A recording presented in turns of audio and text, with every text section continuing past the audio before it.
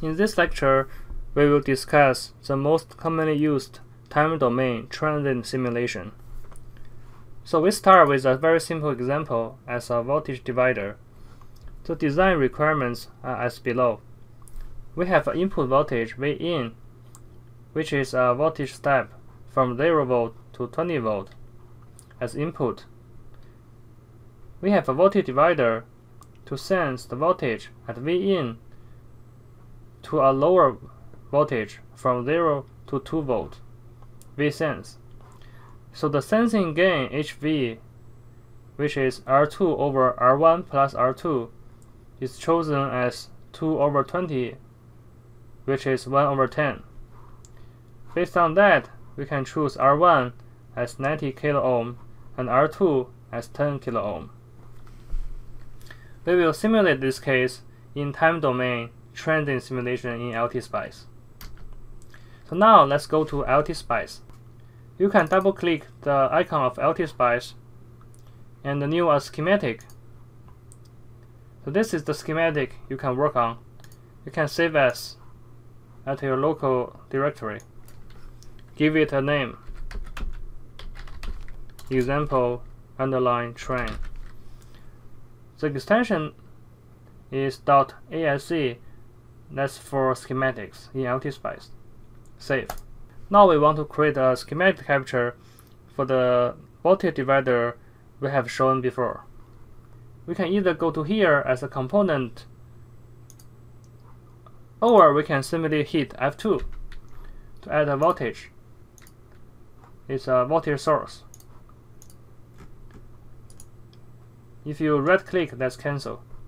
And then we can add a resistor. You can put here, uh, choose a resistor, escape.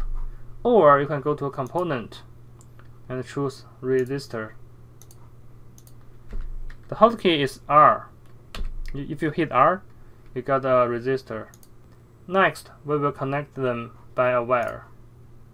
If you click wire here, and connect them by their terminals. So now they are in series. Please remember, SPICE requires a ground reference. You can right click to cancel and go to here as ground. If you want to move this schematic, you can hold the left key so that you can move this schematic around and also you can use the scroll wheel to zoom in and zoom out. Next, we will edit the properties of each component. You right click over this component. You can put a DC value, but in our case, this is a voltage step. So you go to advanced, choose a pulse. The initial value is 0 volt. You can put 0 or 0 V, it doesn't matter. But please remember, there will be no space between the numerical value and your unit. V on, that's the voltage, uh, high voltage in your voltage step, that's 20. No unit in this case. So delay time is 1 millisecond. You can put 1 ms or 1 m. Rise time, which is 1 nanosecond fall time 1 nano. T on, if that's empty, that means it will be on forever. That's the period time. And this is the number of cycles. You can leave it as is and hit OK. So now this voltage is defined in SPICE syntax. You can move this syntax away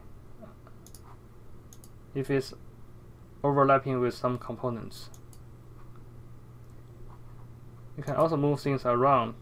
If you want to cancel, if you want to cancel this, just uh, right click. Now you move the mouse over R. R1 and R2 are designators. R are values of these two resistors. Right click, you can put 90k. Or you can put 90k ohm. They are equivalent. R2 is 10k. So now the voltage sensing gain is sim simply 10 over 100. You can place a text over here. You can put text here. So the voltage sensing gain HV equals 10k over 90k plus 10k. And you can put it here as an annotation. Also, you can give a label net as v1, uh, I'm sorry, as v in, as v in as a net at this point. Move things around a little bit and connect it by a wire. Also, this has a vsense at output. Go here. You can use this icon or just use a hotkey F4. This is vsense. Right click to cancel. Save, and now the schematic is finished. We want to add a simulation file. We can go to Simulate, Edit Simulation command. Choose Transient. Stop time is 2 milliseconds. Time to start saving data from time equals to 0. The maximum time step is leave is left as is, which means we can use the variable time step. We will discuss it later. We can hit OK. This is the transient simulation syntax. And we can hit this running man to run the transient simulation. So now we can see another window pops up. If you go, go back to the schematic, you can use mouse to add any waveforms you are interested in, such as voltage. This becomes a voltage probe. And you put this, your mouse over this component, you can see a current probe. You can measure the current. So the current is, de uh, is defined as the arrow shown be below, which is from top to bottom. And you, if you click left click V in, you got voltage step at 1 milliseconds.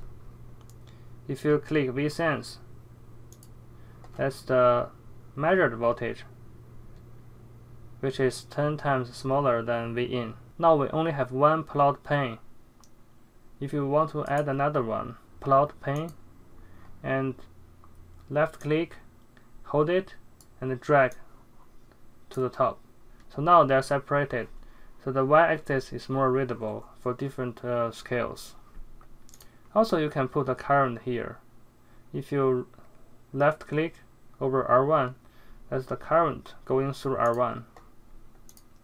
So now this current is shown at the second y-axis because they have the same scale so they are overlapping in the top plot pane. Next, we want to check the data points of this simulation. We can go to the plot window, right click, and view, mark data points. We can see there are only a few data for this simulation because this is a, this is a quite simple simulation. If you hit this window, you can tile the window. To check the values of each data, you can go to File, Export data as text, and choose what you want. And OK. This data is saved in the same directory as your simulation file. Now you go back to your local directory and uh, you will notice there's a new text file created. You can open it by a notepad. Now this is the data you have saved. Uh, there are a few columns. First is time, second is voltage input, and the Vsense. The last one is the current through R1. Because we are using variable time step, the LTSpice just uh, created 1, 2, 3, 4, 5, 6. There are only 6 data points created for this simulation. If you want better resolution, you can edit the simulation file. Let's go back to simulation file. Right click to edit. The maximum time step was nothing here, but we can put one nano one nanosecond. That's the maximum time step allowed in this simulation. Click OK. So uh, we're, we are expecting to see a lot of data in this simulation. Hit running man again. It takes a while to finish this simulation. But you can see we have significant amount of data available to us.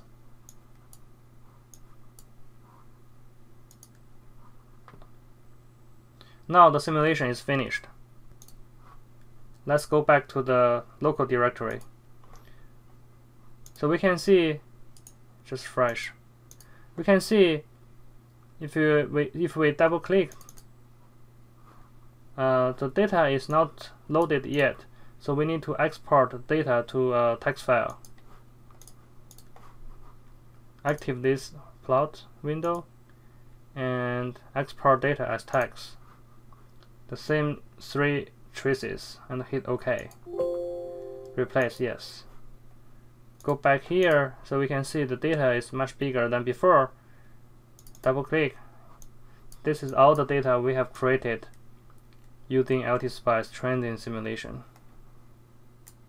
And also the raw data that's the all the data we have saved in LTSpice so this data is automatically saved after each simulation so now we, if we want to delete a trace, you can just hit delete on your keyboard and use this scissor to cut it off.